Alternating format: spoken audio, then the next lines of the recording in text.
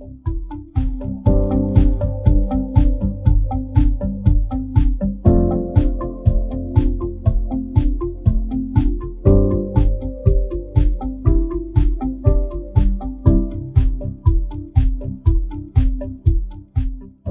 name is Tirupati.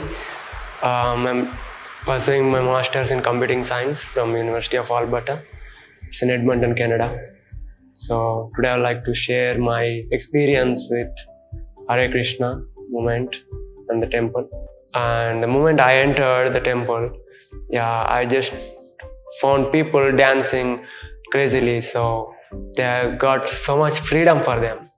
Uh, so everyone is after happiness actually so and peace is the foundation for happiness so that made me inquisitive like to know what made these people dance so happily. So there should be some kind of philosophy or reason behind that and that attracted my uh, inquisitive mind to know the philosophy behind their dancing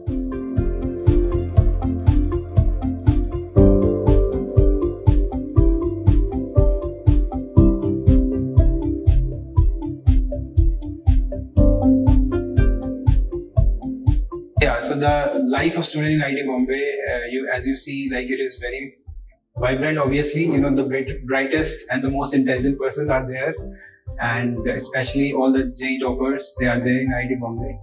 So we have a very nice community as academicians, as uh, you know young scientists. But um, but I really felt there is you know still there is something missing in, into the lives of people uh, even though they are very much brilliant in their curriculum, in their even sports and other you know, extracurricular activities. But one aspect is still missing that at the end of all the education they, you know, we pursue, sometimes we don't find satisfaction, happiness and joy in our lives.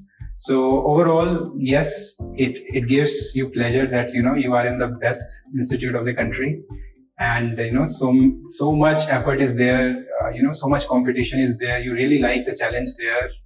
And so vibrant campus right? The whole vibe is there. But the thing is still i i found it because i'm a person who you know really wanted to go very deeper into you know uh, things and wanted to you know be happy. Not just you know just show to the world that yes i am the champion or something. So there is something missing, and um, I really think that it is something with the spiritual, you know, aspects of it. Yes, we we conquered lots of things. We think we are busy, but yes, this workshop will make you free. With the same amount of work you do, it makes you more free. It gives you more freedom. So you will realize how artificially we are imposing so-called busyness in pursuit of just anxiety and distress. So just give some time for this workshop. You'll realize how free you are and how much freedom you can attain in your same routine of life.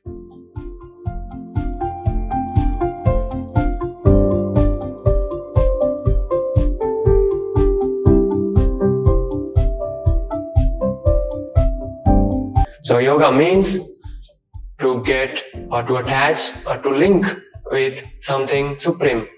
So that's exactly what yoga means. So once you know the exact meaning of yoga and once you practice it under proper guidance, you will automatically become happy. And yoga for happiness is a good platform to understand what it is. So that's how I got introduced to this philosophy. It's complete it can make anyone and everyone happy. So I'm very much confident about the philosophy. Hare Krishna.